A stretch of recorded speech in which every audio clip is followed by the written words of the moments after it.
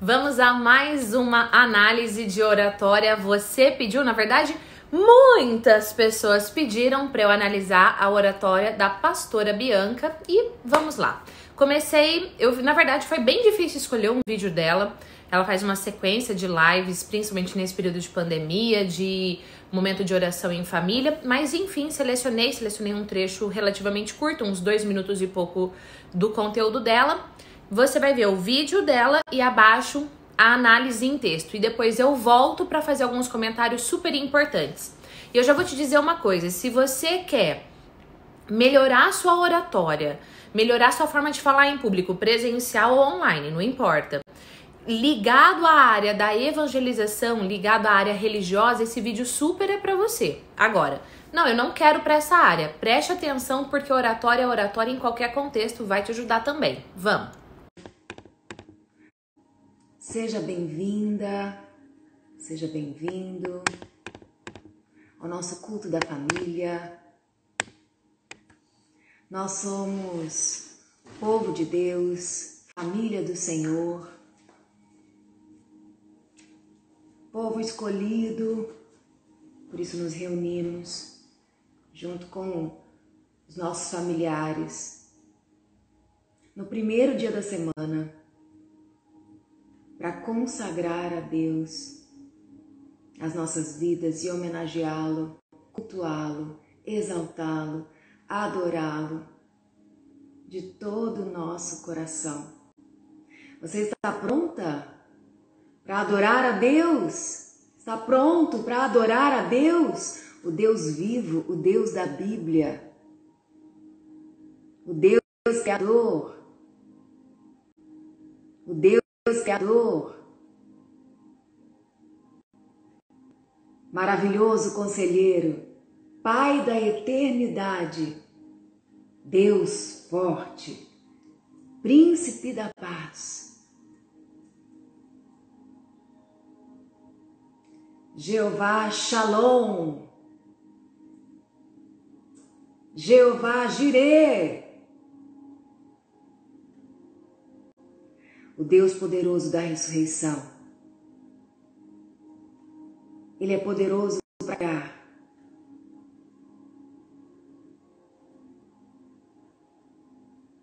Ele é poderoso para fazer infinitamente mais do que pedimos ou sequer pensamos, através do poder que opera em nós, sem cessar. O poder que opera em nós, nós que permanecemos nele, nós que lutamos para que a palavra permaneça em nós, nós que adoramos a Deus em espírito e em verdade, nós que amamos ao Senhor com todo o nosso coração, com toda a nossa inteligência, com todas as nossas forças, com todo o nosso potencial, com todos os nossos talentos e dons, com todos os nossos.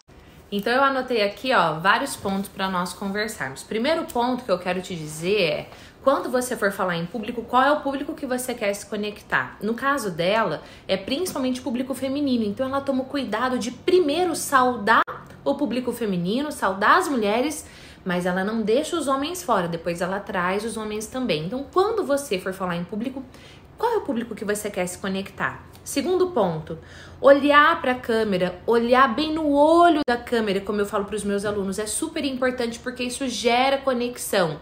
Como ela está falando em dois canais ao mesmo tempo, ela olha para uma câmera e depois ela olha para o outro e ela olha para uma e ela olha para o outro e ela vai gerando essa conexão. E aí eu já vou aproveitar aqui puxar o lance do olhos fechados. Quando você está falando em público, às vezes você quer, principalmente no momento mais introspectivo, você quer fechar os olhos e você pode, mas, mas não dá para você falar com os olhos fechados o tempo todo se o público tiver de olho aberto. Você precisa gerar conexão com as pessoas através do seu olhar. Combinado? Outro aspecto que eu marquei aqui, tom de voz. Ela fala com um tom de voz mais pausado, mais calmo. Agora imagina que de repente você está conduzindo um momento como esse, seja uma palestra, uma pregação, não importa, por duas horas. E nessas duas horas, de repente, ou é muito cedo, ou é depois do almoço, ou é bem no fim do dia. E aí essa voz calma o tempo todo, sem o público interagir, sei lá, através de uma canção, pode fazer o público dormir. Então, o tom de voz, a expressão facial é algo que vai passar a emoção. Você tem que tomar cuidado com a emoção que você quer passar. E eu tô fazendo essa pontuação aqui, na situação dela, a gente super entende. Ela utilizou super bem, mas você, cuidado. Outro aspecto que eu vou falar, o sorriso. O sorriso, família, gera conexão, gera simpatia, gera essa proximidade com o público. Óbvio, quando for condizente, de repente você tá falando de um tema super pesado, sei lá, vamos falar sobre o pecado, o pecado que afastou o homem de Deus. E aí você fala sorrindo? Não, né? Então, o sorriso é sim uma estratégia, mas sempre genuíno, sempre verdadeiro e condizente com o que você está falando e com a mensagem que você quer passar, o resultado que você quer alcançar. Outro aspecto é a emoção.